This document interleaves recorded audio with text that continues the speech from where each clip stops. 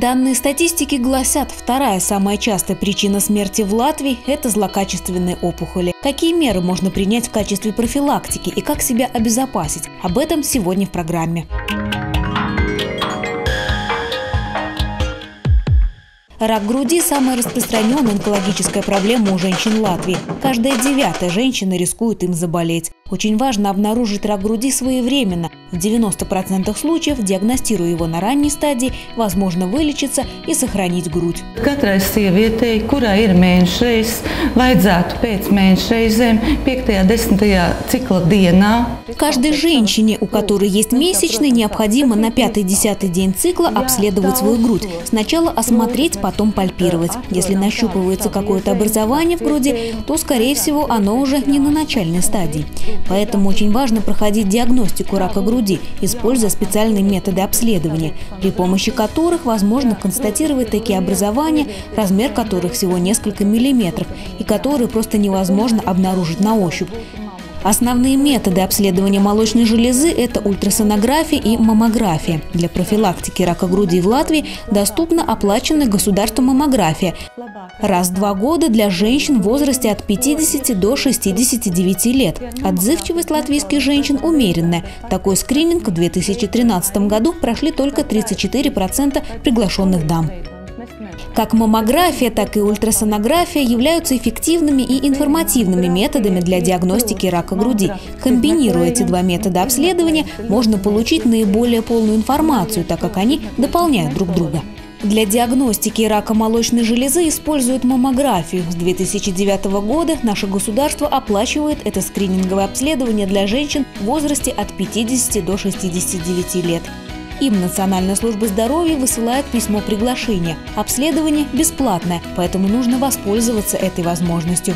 Рак шейки матки после рака груди – второй самый распространенный вид рака у женщин. Смертность от этого заболевания велика во всем мире, поэтому каждая женщина должна позаботиться о том, чтобы уберечь себя от этой беды. Это распространенная инфекция, которая передается половым путем. Мы очень хорошо знаем, как избежать этого, эти заболевания.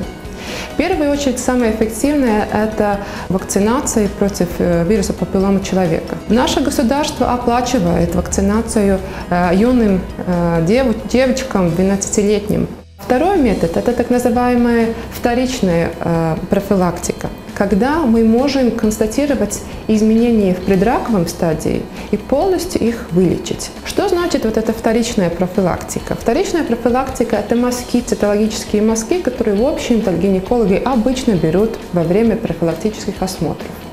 Но, к сожалению, э, много женщин не ходят к гинекологам, не посещают годами, десятилетиями. Начиная с 2009 года в нашем государстве э, высылаются письма, которые приглашают женщин э, обследоваться на рак шейки матки. Э, эти письма получают женщины с 25 до 70 лет каждые три года. Дорогие женщины, я хочу пожелать вам больше себя любить, больше заботиться о себе. Нашим детям, нашим мужьям нужны здоровые мамы и здоровые, счастливые жены. Никто о нашем здоровье не позаботится, как только мы сами. Поэтому обращайте к своему гинекологу э, регулярные визиты. Отвечайте на приглашение государства обследовать шейку матки. Вакцинируйте своих дочерей.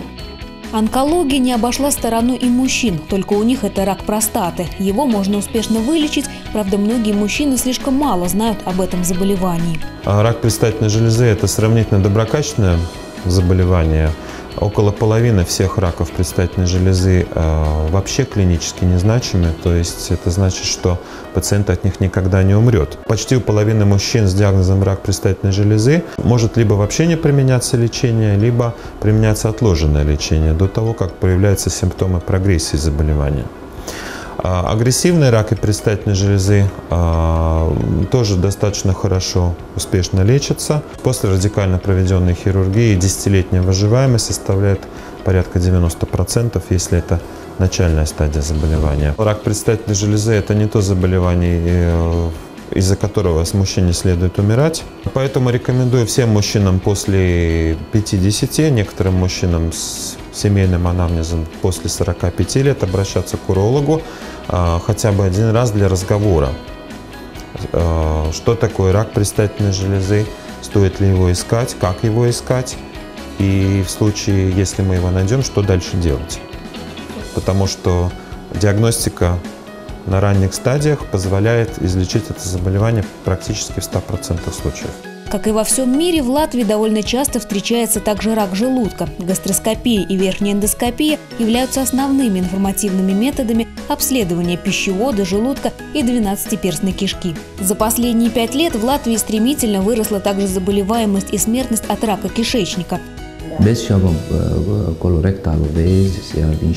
Без сомнения, колоректальный рак встречается даже чаще, чем рак желудка. Он входит в топ-5. С 2009 года есть бесплатная скрининговая программа. Это очень простое обследование, нет повода беспокоиться или стесняться. И если этот тест позитивный, его надо делать три раза, но если хоть один раз с позитивным результатом, то этого хватит, чтобы человек пришел к своему доктору, а тот дальше направит его на колоноскопию или другие обследования прямой кишки.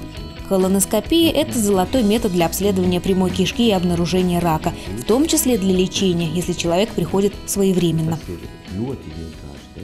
Важное значение имеет и качество оборудования. Новые технологии предлагают врачу уникальные, ранее невозможные методы диагностики, которые кардинально улучшают раннюю диагностику и лечение различных заболеваний пищеварительного тракта, в том числе и онкологических. Аппаратура позволяет получить компьютерные снимки высокого разрешения, которые позволяют оценить самые ничтожные изменения в структуре слизистых поверхностей. Врач может качественно рассмотреть ткани на невероятно близком расстоянии. Во время процедуры возможно многократно увеличить изображение, вплоть до клеточного уровня. Кроме того, слизистую можно осмотреть в специальных режимах светофильтра, которые дают возможность наглядно оценить капиллярную сетку и отличить патологические ткани от нормальных на ранней стадии заболевания. Я хотел бы призвать людей, приходите и приходите своевременно. Еще одна разновидность онкологии – это рак легких. Он является одним из самых распространенных в мире. В Латвии тоже высокая заболеваемость. За последние десятилетия каждый год раком легких заболевает около 1100 человек. Рак легких проявляется клинически слишком поздно, когда у пациента запущенная форма рака легких. Поэтому необходимо проходить своевременную диагностику, чтобы обнаружить это заболевание как можно раньше. Мы всегда начинаем с рентгенограмм, которые нужно делать в двух проекциях, чтобы рассмотреть те места в легких, которые в обычном изображении не видны. Поэтому рентген легких необходимо делать в двух проекциях.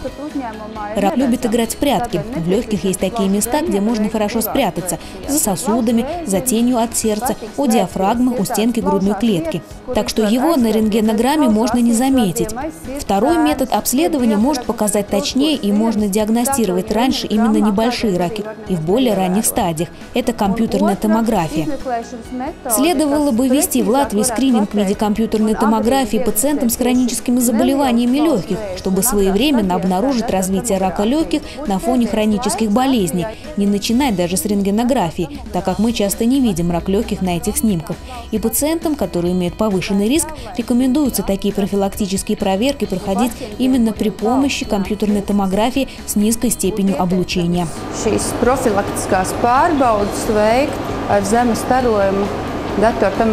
Izmeklējumu. И хотя данные статистики удручают, рак – это не смертный приговор. Онкология успешно лечится на ранних стадиях, поэтому очень важно не пренебрегать своим здоровьем и вовремя проверяться.